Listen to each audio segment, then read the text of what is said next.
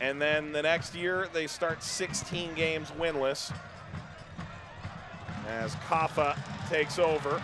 And the shot is on and in! Jemal Johnson! Curling effort of perfection! Fresno leads! the play alive, loses the control, going to ground, uses the left foot to tap it across to Johnson.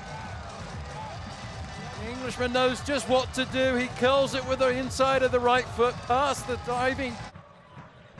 This ball lifted over the back line out to Mirano, lifting across, headed back across and in! Janu Silva! Lovely control. Ball just drifted in. Martin was all out of position. That's why Daly was questioning where he was. Has the help coming in from behind Jackson. Lobo stopped it for a moment. Jackson crossing Chavez!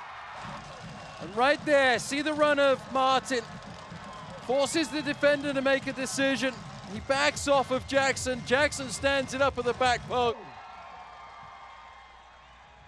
Service across. Headed back toward Daly. The shot by Johnson is in! Lifted up.